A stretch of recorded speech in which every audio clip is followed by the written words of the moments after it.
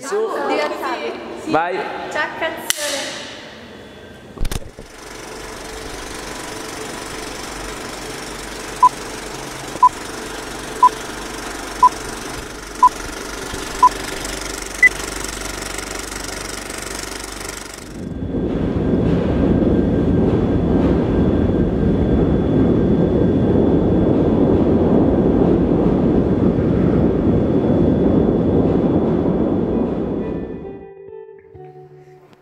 Insegnavo. Era la mia passione. Mi ricordo ancora dei miei studenti. Oggi tutti ingegneri sicuramente. Mi piace pensare che abbiano portato a casa qualcosa. L'amore per il lavoro, la passione per la materia. Quando a Milano la situazione degenerò, nessuno avrebbe mai potuto immaginare cosa sarebbe successo. Mi era crollato il mondo addosso. Con le leggi razziali mi avevano tolto tutto, il mio lavoro, il mio titolo, la mia casa, ma soprattutto la mia dignità. Mi hanno incarcerato più volte, allontanandomi dalla mia amata Margherita. Di tutte le sofferenze che patì, quello fu l'orrore più grande. Avrei preferito morire. Sono stato gettato violentemente su un vagone, come si fa con il bestiame. La luce era debole, dalle grate ne filtrava poca.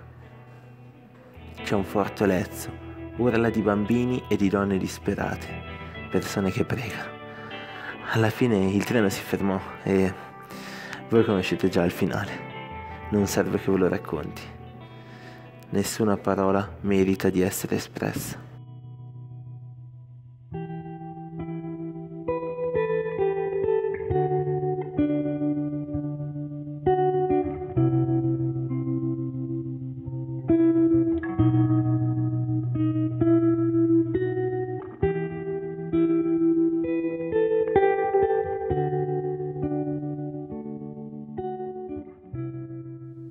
Sempre trovato estremamente semplice il parlare di sé, della propria storia, raccontando emozioni.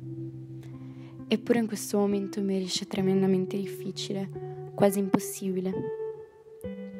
Un sorriso sarcastico mi nasce ai lati delle labbra ogni qualvolta leggo il numero inciso sul mio braccio. Un numero che mai imparai a leggere e per cui pagai un prezzo molto caro. Ma quel numero era il mio nome. Quelle cifre erano me. Ed è ironico pensare che per un periodo della mia vita smisi di avere un nome, smisi di essere un essere umano, smisi di essere. Mi deportarono inizialmente a Mauthausen e definitivamente a Rebensee nel 1944. Decisi di gettare la mia fede nuziale, cui avevo stretto attorno un biglietto per i miei familiari.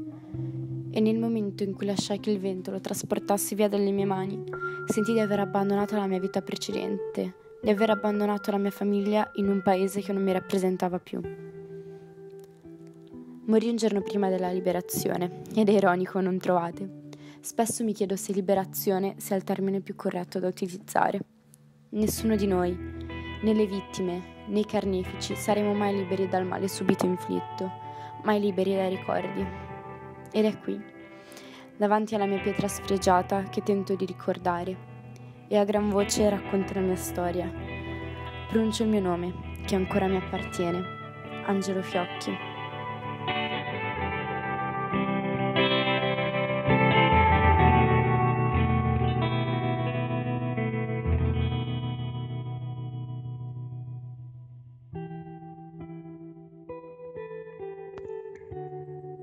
È l'inizio della fine. Stamattina mi sono svegliato e sono andato a scuola come sempre. In classe la solita euforia. Abbiamo una verifica di greco. Ripasso insieme ai miei amici. All'improvviso un gran trambusto. Una squadraccia strappa me e i miei compagni dai banchi di scuola. Sapevo quello che sarebbe successo dopo.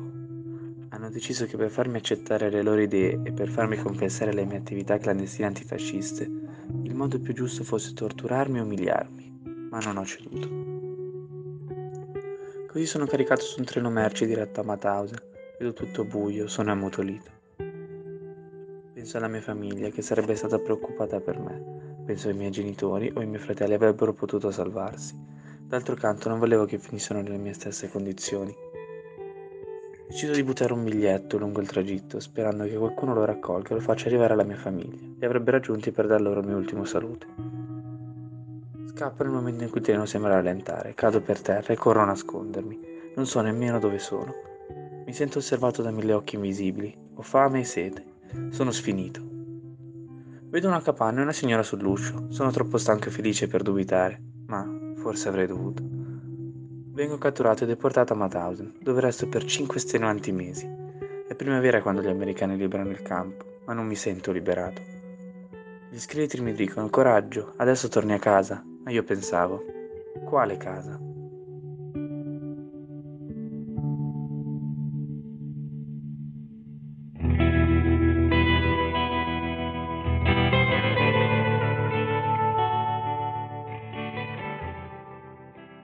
Chiamo Adele Lombroso.